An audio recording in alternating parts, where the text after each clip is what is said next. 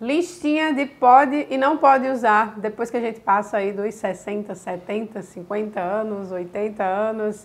O que é que a gente pode colocar no nosso guarda-roupa, o que é que a gente não deve colocar para manter uma mensagem visual aí mais elegante. Vou começar com o que você não pode usar, tá? Macacão, um coeirozinho. Essas roupas aí são indicadas para menores de um ano por motivos óbvios. Você passou disso, minha amiga, você não pode usar esse tipo de roupa, tá? Brincadeiras à parte, esse vídeo aqui é uma tentativa de ajuda para muitos relatos que eu recebo de vocês aqui no canal, fora dele, andei conversando com muitas de vocês e o que mais eu recebo é uma fala sobre essa fase da vida. Então, quando a gente fala sobre o que você pode ou não pode, deve ou não deve, o que faz mais sentido para quem tem 10 anos, 20 anos, 30 anos, 50 anos, 60 anos, diz muito respeito à fase de vida que a gente está vivendo. Então, eu posso ter alguém que está com 30 anos e vivendo uma fase aí parecida com alguém de 60. Eu posso ter alguém que está com 80 anos e ainda vivendo uma fase parecida com alguém de 20. Então vai depender da fase de vida que você está.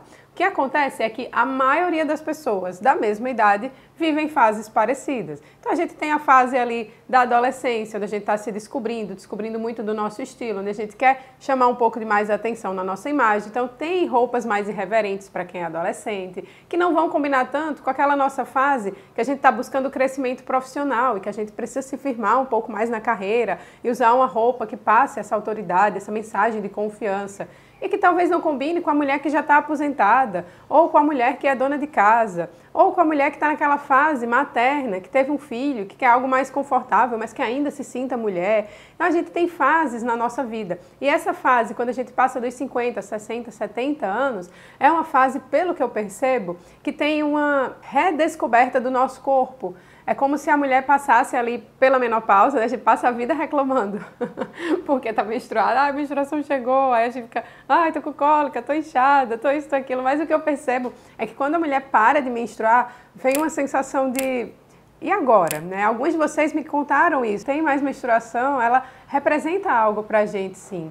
Então, esse relato eu quero trazer aqui para vocês opções de roupas que vocês se sintam bem para essa fase, que sintam conforto, né? As mudanças do corpo, da mesma forma que a gente passa por mudanças na adolescência, que a gente está se descobrindo e nosso estilo fica confuso, na menopausa eu percebi que isso também acontece. Muitas relatam é, aumento de peso, uma gordurinha abdominal que vem a mais, você tem que ter um cuidado maior com exercício físico, tem que ter uma motivação maior para isso. Inclusive, se você precisa de motivação para isso, para se cuidar, se amar, se maquiar, rezar, fazer exercício físico, se você precisa entender mais do seu guarda-roupa, que é uma opinião sincera minha, vem para o nosso clube de membros, a nossa comunidade de mulheres elegantes que cresce cada dia mais.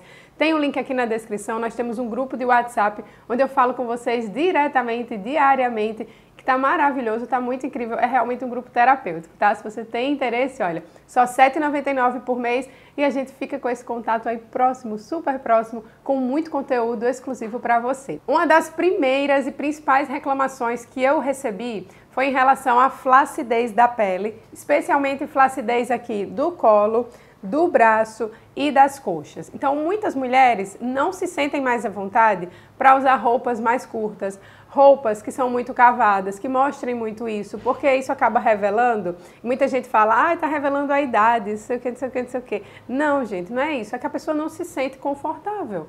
Não se... Tem mulheres que vão se sentir confortáveis com super decotes, tem mulheres que não vão se sentir, independente do tamanho do busto. Tá? Então é sobre se sentir à vontade, se sentir confortável. A elegância está muito associado a você estar adequado para o ambiente e a você estar se sentindo bem com aquela roupa. Porque quando você se sente bem, sua postura muda, sabe? Você fica com o peito mais para frente, assim, você fica com a cara mais para cima, você fica mais confiante. Quando você não está se sentindo bem naquela roupa, você fica mais corcunda, você quer se esconder um pouquinho. Então é interessante que a gente escolha peças que nos valorizem, valorizem aquilo que você gosta. Mesmo que alguém diga, não tem problema, mas você está se sentindo confortável? Essa é a pergunta que tem que se fazer. Vou trazer alternativas aqui para você. Aquela regata de alcinha, alcinha muito fina, se você não se sente confortável com essa região, evita.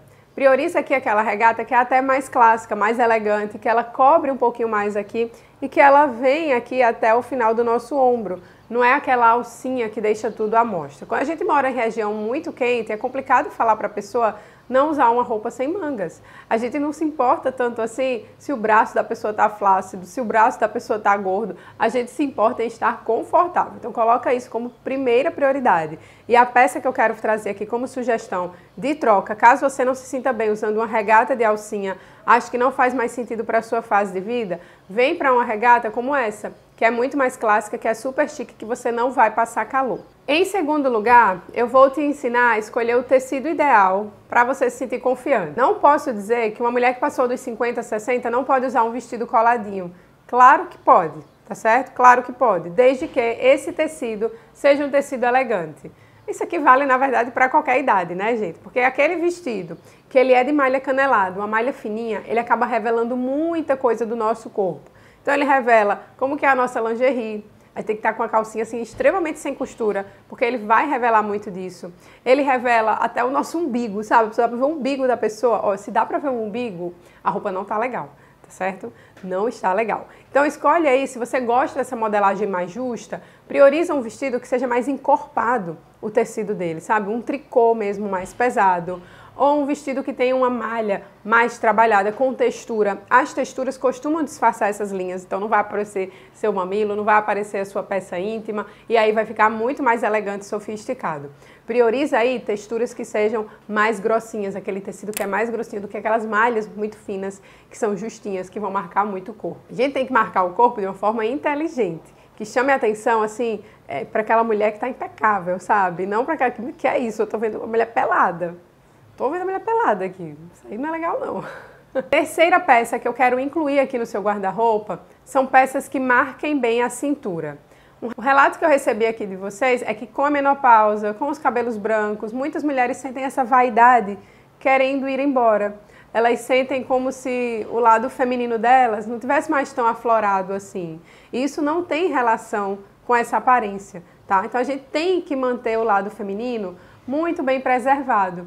Na roupa, sem sombra de dúvidas, a gente consegue isso marcando a nossa cintura. Ai, Raiz, eu não tenho cintura, minha barriga é enorme. Claro que você tem cintura sim, tá? Tem, então a gente marca a cintura, a gente traz essa feminilidade, a gente coloca um cinto, uma faixa na mesma cor. O vestido, ele traz muito essa mensagem.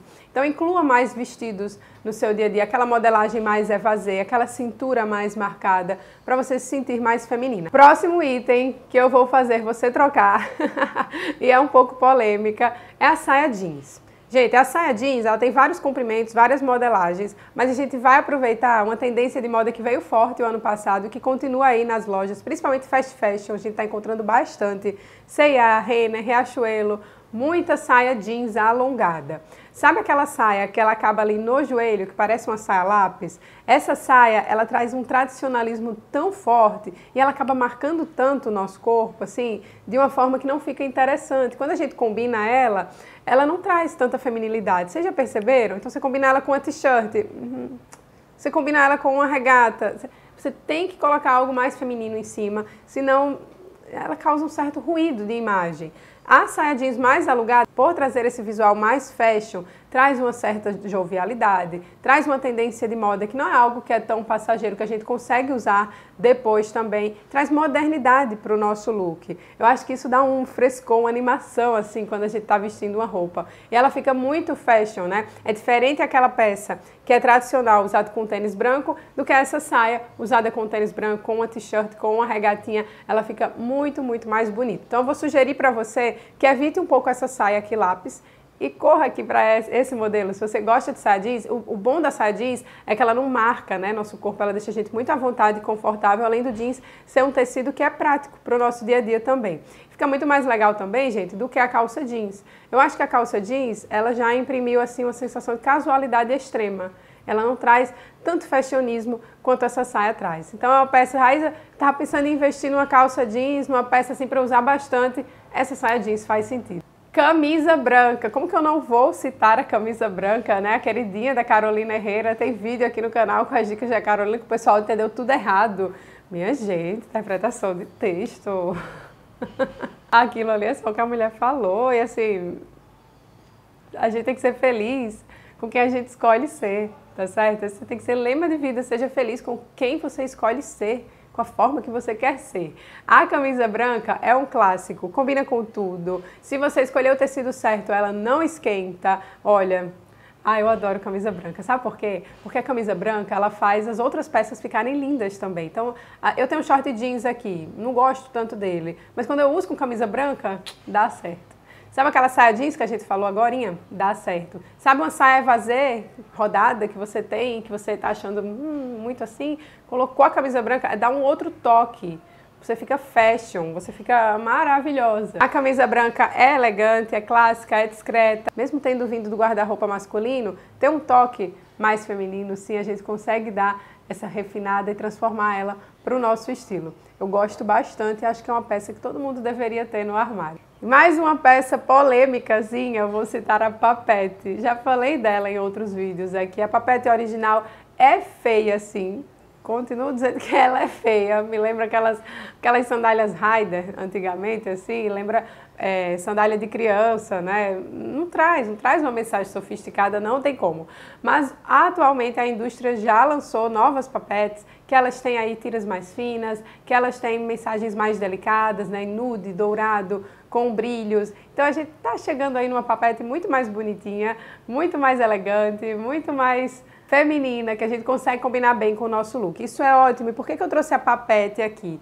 Porque eu quero que você, que passou dos 50, 60, 70, 80, 100 anos, pare de se importar com a altura de salto. Não existe altura de salto em dress code. Ah, eu fui convidada para uma festa de casamento. Tenho que ir com um salto? Não, não tem. Você tem que ir com um calçado que combine com o vestido. Um calçado que transmita elegância, um calçado que seja delicado, tá? Mas você não precisa ir com um salto alto. Então a Papete, nessa nova proposta que vem vindo por aí, ela é um calçado muito confortável, recomendado para quem tem problemas nos pés, na coluna. A gente sabe que com o passar dos anos, algumas coisinhas aí aparecem, né? então, se você tem recomendação médica para não usar salto alto, não força a barra. Eu estou aqui para te dizer que você não precisa usar salto alto e que a papete consegue sim combinar em várias ocasiões. E para finalizar, um look completo para você ter no armário é o vestido com o tênis. De preferência o tênis branco, tá? O tênis nude é bonito, um tênis preto também depende da sua rotina, mas o vestido com o tênis branco, eu vou citar um vestido específico aqui um chemise jeans com tênis branco. Mas vamos acertar no chemise, tá? Aquele chemise retinho que bota a faixa ou que você usa mesmo sem a faixa.